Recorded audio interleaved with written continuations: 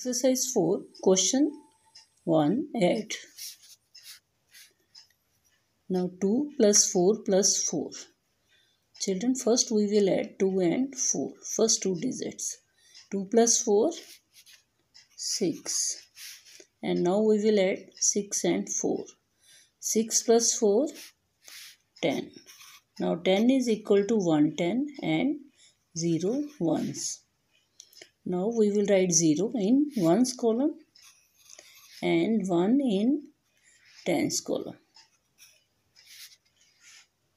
Now answer is 10. Now next part 6 plus 7 plus 3. Now first we will add 6 and 7. 6 plus 7 13. Now we will add 13 and 3. Children, we will keep 13 in our mind and count 3 on your fingers. Then with the help of forward counting, 13 plus 3 is 16. Now 16 is equal to 110 and 6 ones.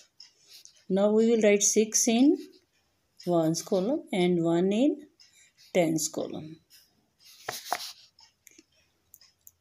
Now 16 is your answer